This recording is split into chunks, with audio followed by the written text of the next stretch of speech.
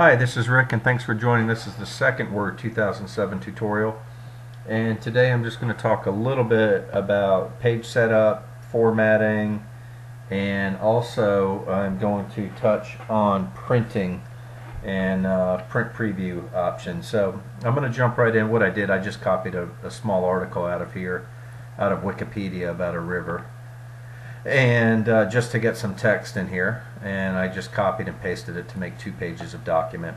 So this is a basic um, you know word file here and, and of course you see different color fonts and so forth.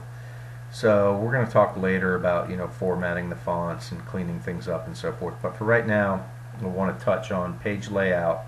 So you've got um, under the page layout tab here you come down here and you have several options under here to edit your document.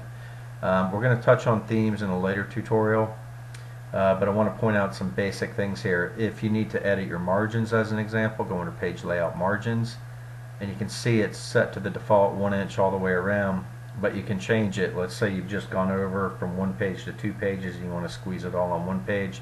You could change your margins uh, you know, as an example here. These are all the default margins, or you can go down here and you can click on custom margins and bring it up and edit it um, however you would like to to adjust it. Okay, I'm just going to hit cancel to get out of there. Uh, but other options in here are orientation.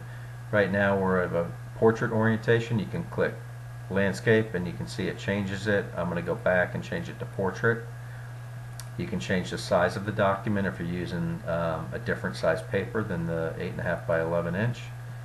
And if you were working with columns, and we're not using columns right now, but you can you can see you can set up columns here.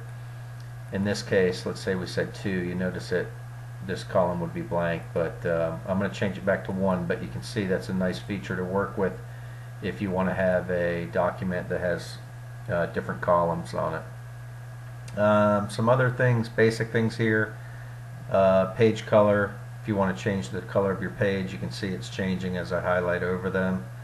Uh, I'm going to go ahead and not change it right now. And then of course you can put a border here too. We can put, you can choose shadow as an example, and then you can put the style.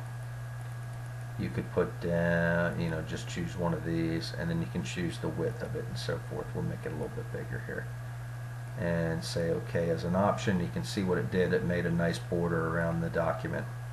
Okay, so those are just a couple things you can do. Spacing, uh, it's left on automatic right now, but you can certainly change that to whatever um, settings you would like, right?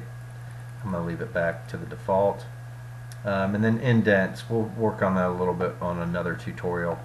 So now I want to touch base on printing. So if you're going to print uh, what you do, you go into the Microsoft Office button, go to print, and you can you can um, choose your printer. Right here I have my Canon chosen, but if you have a different printer, you just hit the pull down there, choose the number of copies, click OK, and there's some different options here. You can go under the options button here, and there's a whole list of options. We're not going to go through all those right now. Uh, and then uh, another thing I want to show you is under the office button. If you go under print you can you should go under even if it's just a one page document it's a good thing to do is just always go in and do a print preview. And you can see it it shows you what the document would look like. A lot of those page setup options that we just went through are in here in the in the print preview. So for example margins are here same options, orientation if I want to change it to landscape.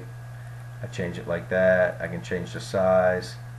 If I want to look at what the two pages look like, I can click two pages here and you can see it, it shows them both.